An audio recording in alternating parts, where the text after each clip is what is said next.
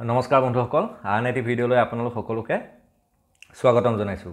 আজিৰ ভিডিঅ'ত আমি যোৱা A D R E grade three যিখন গ্ৰেজুৱেট লেভেলৰ পেপাৰ তাত অহা এটা প্ৰব্লেম ডিছকাছ কৰিবলৈ ওলাইছোঁ। এই প্ৰব্লেমটো আহিবলগীয়া পৰীক্ষাবোৰৰ লগত সংগতি ৰাখি এটা ইম্পৰ্টেণ্ট কুৱেশ্যন সেইকাৰণে আমি আগবাঢ়িছোঁ এতিয়া। প্ৰব্লেমটো কৰাৰ আগতে আমি চাৰ্কেল বা অসমীয়াত যাক বৃত্ত বুলি কওঁ তাৰ ওপৰত দুটামান থুলমূল ধাৰণা দিবলৈ ওলাইছোঁ। এতিয়া মই এটা ৰাফকৈ এটা বৃত্ত বা চাৰ্কেল ড্ৰ কৰিলোঁ।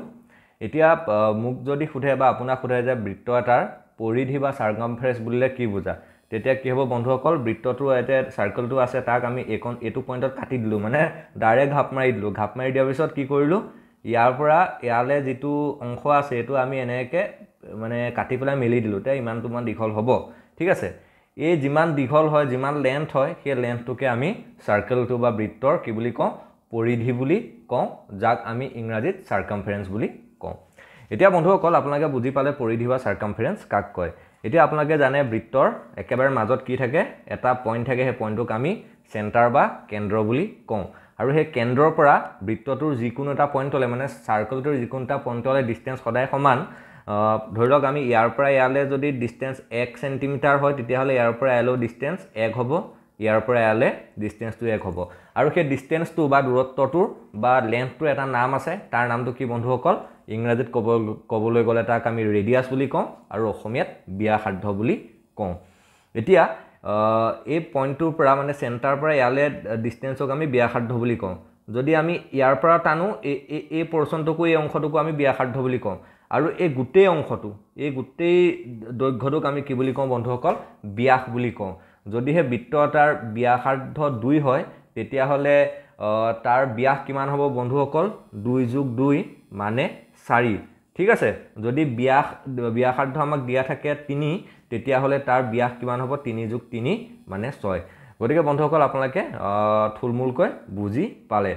এতিয়া আৰু এটা আপোনালোকক প্ৰব্লেমটো কৰাৰ আগতে কনচেপ্ট দিব ওলাইছোঁ। ধৰি লওক দুটা পইণ্ট আছে বা দুটা জেগা আছে। এতিয়া এই পইণ্টটোৰ নাম হ'ল এ এই পইণ্টটোৰ নাম হ'ল বি এতিয়া এৰ পৰা বিলৈ আপোনালোকে কিমান ৰাস্তা দি কিমানটা বেলেগ বেলেগ ৰাস্তা দি যাব পাৰিব? ইয়াৰ উত্তৰটো হ'ব বন্ধুসকল অসংখ্য ৰাস্তা দি যাব পাৰিব। উদাহৰণস্বৰূপে আপুনি এইটো ৰাস্তা দিও যাব পাৰিব। এনেকৈও যাব পাৰিব। এনেকৈও যাব পাৰিব। আপোনাৰ যেনেকৈ মন যায় এনেকৈও যাব পাৰিব বা এনেকৈও যাব পাৰিব। তেতিয়াহ'লে ৰাস্তা বহুত থাকে। কিন্তু আপোনাক যদি সোধে যে আটাইতকৈ চুটি ৰাস্তা কোনটো তেতিয়াহ'লে কোনটো ৰাস্তা হ'ব বন্ধুসকল? এৰ পৰা বিলৈ যদি আপুনি এডাল লাইন টানে সেই লাইনডালেই হ'ব আটাইতকৈ চুটি ৰাস্তা। বাকী যিমানেই ৰাস্তা নহওক সেইবোৰ কি হ'ব বন্ধুসকল? মানে সেই লাইনডালতকৈ দীঘল। গতিকে আমি এতিয়া প্ৰব্লেমটোলৈ আগবাঢ়োঁ। প্ৰথমতে মই অসমীয়াতে পঢ়িছোঁ। দিছে যে এজন মানুহে পিৰ পৰা কিউলৈ অৰ্ধবৃত্তাকাৰ পথ অতিক্ৰম কৰে। এজন মানুহৰ কথা কৈছে আৰু দুটা পইণ্টৰ কথা কৈছে। তো মানুহ এজনে দুটা পইণ্ট পি আৰু কিউ কিউলৈ এটা ৰাস্তা দি যায়। সেই ৰাস্তাটো কি অৰ্ধবৃত্তাকাৰ বুলি কৈছে? মানে ছেমি চাৰ্কুলাৰ মানে এনেকুৱা এনেকুৱা এটা ৰাস্তা দি যায় এনে- এনেকৈ যায় মানে এই ঠিক আছে? তাৰপিছত কৈছে যে কৰে। আৰু তাৰপিছত চাৰি কিলোমিটাৰ দৈৰ্ঘ্য হৰ্ষতম পথেৰে পুনৰ পিৰ পৰা কিউলৈ পুনৰ পিলৈ ঘূৰি আহে। মানে মানুহজনে প্ৰথমতে এই ৰাস্তাটো দি মানে অৰ্ধবৃত্তাকাৰ ৰাস্তাটো দি গৈ গৈ গৈ গৈ কিউত পালেগৈ ঠিক আছে? তাৰপিছত কি কৈছে যে যিটো আটাইতকৈ চুটি ৰাস্তা শ্বৰ্টেষ্ট ৰাস্তা শ্বৰ্টেষ্ট ৰাস্তাটো কি বন্ধুসকল? লাইনডাল কিউৰ পৰা পিলৈ সেই লাইনডালেদি আকৌ মানুহজন এনেকৈ কি কৰে কিউৰ পৰা পিলৈ উভতি আহে। প্ৰথমতে মানুহজন গৈছিলে এইটো ৰাস্তা দি ঠিক আছে? এই ৰাস্তাটো দি গ'ল। তাৰপিছত মানুহজন কি কৰিলে এই ৰাস্তাটো দি উভতি আহিলে। তাৰপিছত কৈছে যে কিউৰ পৰা পিলে যে তেওঁ চুটি ৰাস্তাটো দি উভতি আহিলে তাৰ দৈৰ্ঘ্য কিমান বুলি কৈছে? চাৰি কিলোমিটাৰ বুলি কৈছে। তাৰ মানে ইয়াৰ পৰা কিউৰ পৰা এই ৰাস্তাটো দি ইয়ালৈকে ডিষ্টেঞ্চ হ'ল চাৰি। তাৰ মানে চাওকচোন আমি যদি এই- এইটো এটা অৰ্ধবৃত্ত হয়নে? অৰ্ধবৃত্তটো যদি আমি সম্পূৰ্ণ কৰি দিওঁ ধৰি লওক আমি সম্পূৰ্ণ কৰি দিলোঁ সম্পূৰ্ণ কৰিলোঁ ই এটা বৃত্ত হৈ গ'ল তেতিয়াহ'লে কিউৰ পৰা ইয়ালৈ যদি পিলে এই লাইনডালৰ দূৰত্বটোত যদি চাৰি হয় তেতিয়াহ'লে তাৰ আধাটো কিমান হ'ব বন্ধুসকল চাৰি আধা কিমান? দুই। মানে ইয়াতে যদি আমি কাটি দিওঁ ইয়াৰ পৰা ইয়ালৈ দুই। তেতিয়াহ'লে এই বৃত্তটোৰ বন্ধুসকল ব্যাসাৰ্ধ কিমান হ'ব? মানে ৰেডিয়াছ কিমান হ'ব?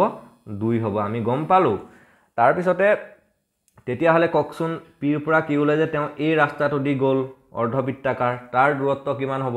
বন্ধুসকল আপোনালোকে সকলোৱে জানে যে বৃত্তৰ পৰিধি বা চাৰ্কামফাৰেঞ্চৰ ফৰ্মুলাটো কি? টু পাই আৰ কিন্তু মানুহজনে কি কৰিছে? গোটেই পৰিধিটো কভাৰ কৰিছে জানো? নাই কৰা ন? পৰিধিৰ আধা গৈছে। ঠিক আছে? আমি যদি পিৰ পৰা এনেকৈ কিউলৈ গৈ আকৌ এইটো ৰাস্তাতে ঘূৰি আহোঁ সেই ডিষ্টেঞ্চটো কাৰ সমান হ'ব? দূৰত্বটো কাৰ সমান হ'ব? পৰিধিৰ সমান হ'ব। কিন্তু মানুহটোৱে সিমান যোৱাই নাই আধা গৈছে। গতিকে তেওঁ কিমান ডিষ্টেঞ্চ গ'ল পিৰ পৰা কিউলৈ যাওঁতে তাৰ উত্তৰটো কিমান হ'ব? টু পাই আৰু আধা মানে ইয়াক হৰণ কৰক ইকুৱেল টু পাই আৰ তাৰ পৰা কিউৰ পৰা পিলেতো আকৌ উভতি আহিলে। ঠিক আছে? এতিয়া আমাক কি সুধিছে যে মানুহজনে টোটেল কিমান দূৰত্ব অতিক্ৰম কৰিলে? প্ৰথম পিৰ পৰা কিউলৈ অৰ্ধবৃত্তাকাৰ ৰাস্তাৰে যাওঁতে কিমান? পাই আৰ। তাৰপিছতে কিউৰ পৰা পিলে আহোঁতে কিমান হ'ব বন্ধুসকল? চাৰি। এতিয়া চাওক আৰৰ মানটো আমি কি পালোঁ? আৰৰ মানটো আমি দুই ইতিমধ্যে পালোঁ গতিকে আৰৰ জেগাত আমি কি লিখিম? দুই লিখিম। প্লাছ ফ'ৰটো আগৰ পৰা আছেই। এতিয়া আমি ইয়াত দুই কমন লৈ ল'ব পাৰিম। পাৰিমনে বন্ধুসকল? পাৰিম। দুই কমন ল'ম তেতিয়া কি হ'ব? পাই প্লাছ টু। গতিকে বন্ধুসকল আমাৰ উত্তৰটো কিমান হ'ব? Two pi plus four. নাই টু পাই প্লাছ ফ'ৰ বুলি ইতিমধ্যে আছেই আমাৰ উত্তৰটো। টু পাই প্লাছ ফ'ৰ বুলি আছে গতিকে আমাৰ অপশ্যনটো হ'ব option B two pi plus four.